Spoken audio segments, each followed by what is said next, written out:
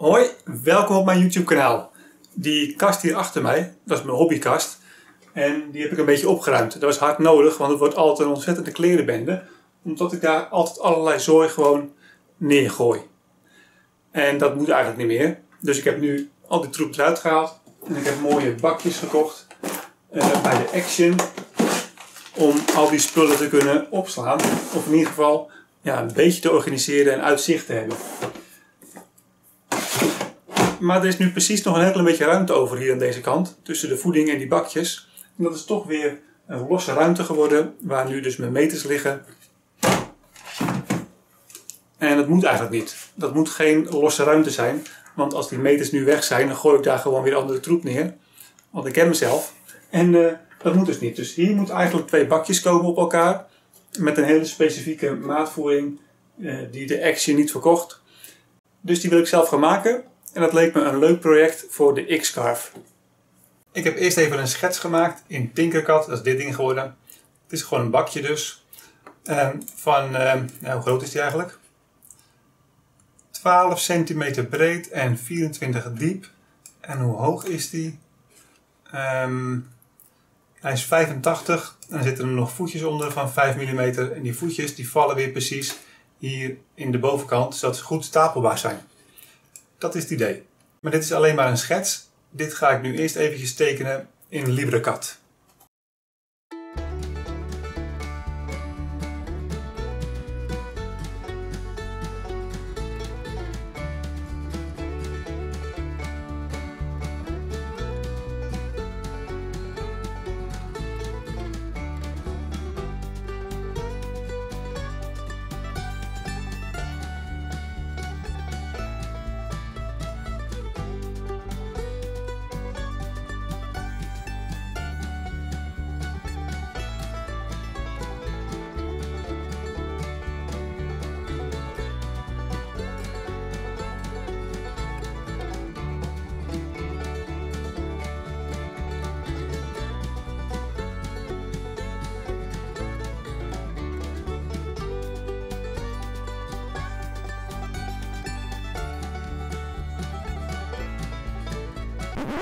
Ik heb mijn tekeningetje nu al klaar. Ik heb een bodem en een zijkant. Dat is ook gelijk de andere zijkant. En die voorkant is ook de achterkant. Dus ik wil dit nu eigenlijk eerst een keertje opnieuw importeren hier in Tinkercad. Want dan kan ik even controleren of mijn finger joints wel goed in elkaar grijpen. Dat is niet altijd even makkelijk om dat te zien in zo'n platte tekening. En zeker als het een wat ingewikkeldere vorm is. Want nu kan ik het nog wel beredeneren. Maar uh, ja, als wat ingewikkelder is, dan is dat lastiger. En om dat te kunnen importeren, moet ik het eerst exporteren hier als een SVG. Dus dat doe ik. Ik uh, noem hem eventjes gewoon 1.svg. En die SVG-files die kan ik dan openen in Inkscape. Dit is Inkscape. En hierin maak ik altijd de tekeningetjes voor de video's, zoals de schemaatjes en mijn thumbnails maak ik ook, ook altijd hier in uh, Inkscape. Het is een gratis tekenprogramma. Nou, dit ding komt nu net uit uh, LibreCAD dus. En dit kan ik niet zo in één keer importeren. En dat komt omdat het namelijk geen um, echte objecten zijn. Nou, wat ik eerst even kan doen is object ungroup. Nu zijn ze in ieder geval allemaal uh, los van elkaar. Zo. Maar als ik deze nou bijvoorbeeld selecteer, en ik zeg hier, ik wil er een infill aan geven, dan zou nu dit ding helemaal rood moeten worden. En dat doet hij niet. Dus dit is geen uh, solide object om te importeren. Wat je dan kan doen, is um, het object overtrekken met de hand zo. Helemaal totdat je rond bent. En dan is het wel degelijk een object geworden, wat je hebt getekend dan. Kijk, als ik die eventjes inkleur, dan zie je dat dat wel werkt. Dus dit, is, dus dit dingetje zou ik kunnen importeren. Ja, het is een beetje erg veel werk om al die dingen over te trekken. Dus ik heb eventjes wat tijd genomen om, om, te onderzoeken hoe ik dit nou kan doen in Inkscape. Om hiervan een, uh, een goed object te maken. Ik heb dus eerst gezegd eh, object ungroup. Zodat ze nu allemaal los zijn. Dan selecteer ik er eentje. Dan zeg ik hier path. Even kijken, combine. Zo, nu is het één ding geworden. Hij is nog steeds niet ingekleurd. Zeg ik nu path uh, stroke to path. En dan zeg ik path uh, break apart. Zo, nou is die wel ingekleurd. Heel goed. En nu zeg ik weer path uh, union. Zo, nu is het één ding. Ik zal het nog een keer laten zien. En die laatste stap is wel belangrijk hoor. Um, ik zeg dus combine. En dan zeg ik stroke to path. En dan zeg ik break apart. Want nu zijn het namelijk twee objecten geworden. Eentje, kijk maar, eentje dat is de omleiding. En die andere dat is het binnenste gedeelte. Dus deze is een fractie kleiner. Dus als ik die nou even op elkaar zet. En ik selecteer ze en ik zeg union. Uh, union. Dan zijn ze weer samen één. En dit moet ik hebben dus. Nou, deze ook. Path, combine, stroke to path, break apart, union. Zo. En nu kan ik helaas niet al deze drie tegelijk importeren in uh, Tinkercad. Want dan blijven ze aan elkaar vastzitten. Ik moet ze eventjes om de beurt doen. Dus dan moet ik helaas deze eventjes kopiëren. Copy. En dan een nieuw documentje maken. Zo. En die even opslaan als bodem.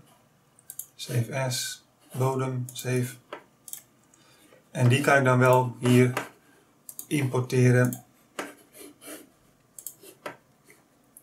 in Tinkercad. Altijd kiezen voor art, niet voor artboard. Want nu krijg je dus de hele pagina. Maar ik wil alleen maar het tekeningetje wat erop staat. Import. Kijk, daar is die. De dikte even aangeven. 5 mm. Dat is mijn bodem. En nu kan je dus ook alle andere objecten importeren.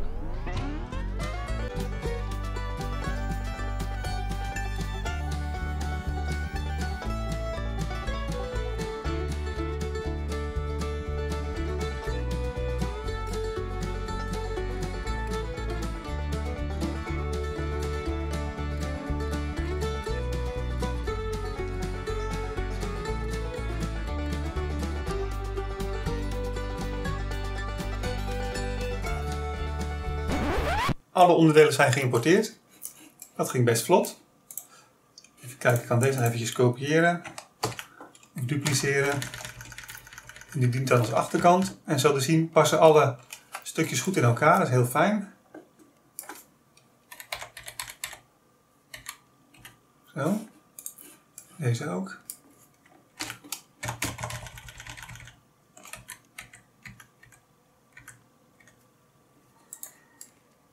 En uh, alles lijkt goed in elkaar te passen. Dus dat is fijn. Dit kan ik nu inderdaad gaan uitzagen op mijn Xcarve. Dan moet ik nu G-code files gaan maken. G-code bestanden voor de Xcarve. En dat doe ik altijd met DXF2G-code. Dus ik heb hier mijn CAD-file ingeladen. En zoals je ziet heb ik nog een extra voorkantje gemaakt. Met dat gat erin om je vinger in te kunnen steken. En ik ga nu beginnen met uh, dit onderdeel um, om daar een G-code file voor te maken. Dus ik selecteer alleen die. Dan selecteer ik mijn freesje. Dat is een freesje van 1,4 mm. Tenminste, dat denkt de software. Maar in werkelijkheid gebruik ik een freesje van 1,6 mm. En daardoor krijg je een heel klein beetje ruimte uh, in die, in die uh, verbindingen. En dat moet ook wel. Als je het echt uh, één op één laat passen, dan is het gewoon te strak. En als je weer uit elkaar moet trekken, dan gaat het niet lukken.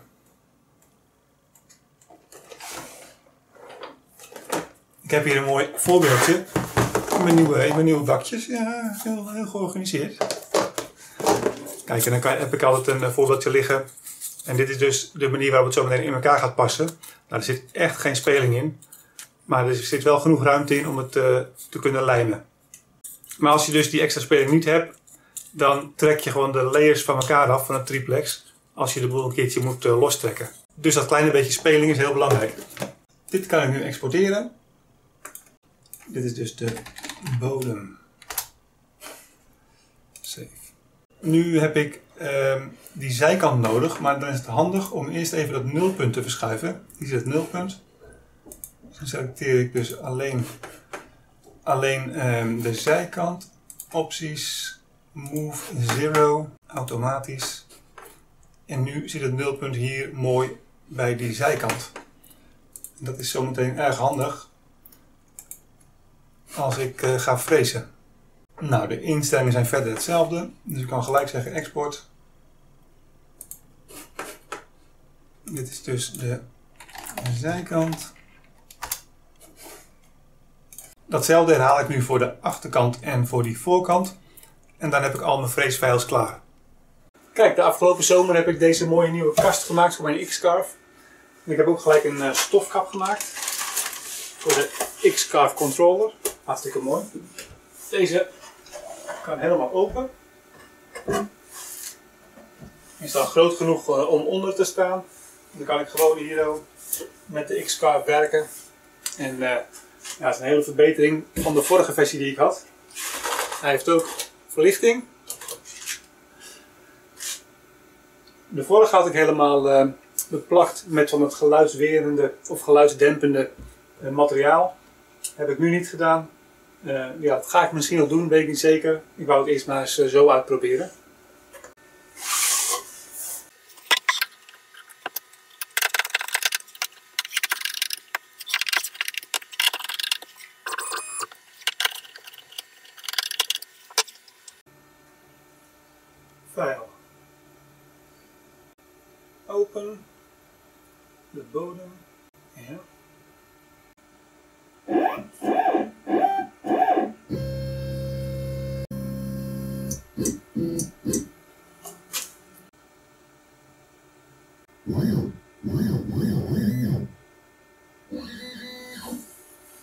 Nu verplaats ik de router naar de hoek van het hout. En zeg ik hier ook x en y is 0. Zo. Dan gaan we nu de hoogte van het hout meten. Het nulpunt dus. Met probe.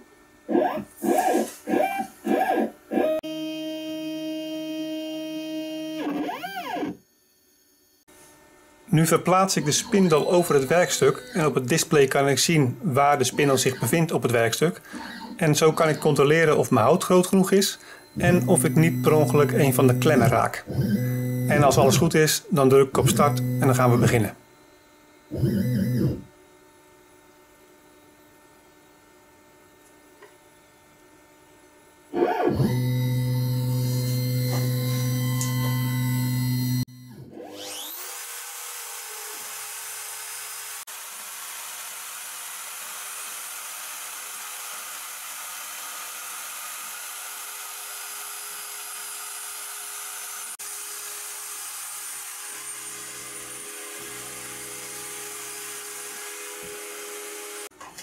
Hij is klaar.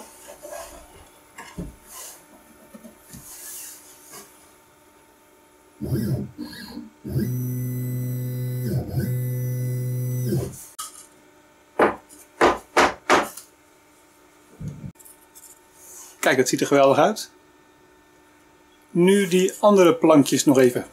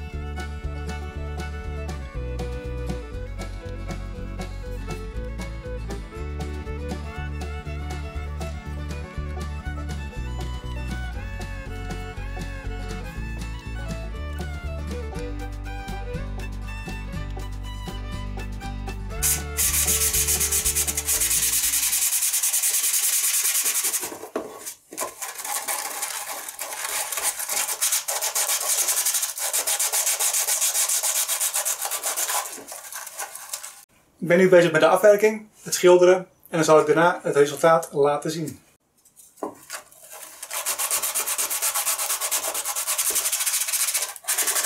Ja, ze zijn klaar. Kijk, daar zijn ze. Ik heb de voetjes onder gemaakt, zodat ze mooi uh, stapelbaar zijn. Dat werkt hartstikke goed. De binnenkant is mooi wit en de buitenkant is blauw geworden. Ik vond het een leuke combinatie die ik ook had gebruikt uh, op de kast van mijn X-Carve. En ik vond de combinatie erg mooi. En ik had die verf over. Dus ik dacht, ik ga het weer gebruiken. Nou, dan kan ik uh, het opruimproject van de kast helemaal afmaken. En hier wat uh, meters en meetsnoeren in gaan bewaren. En is dat klusje ook weer geklaard. Hey, bedankt voor het kijken. Tot de volgende keer.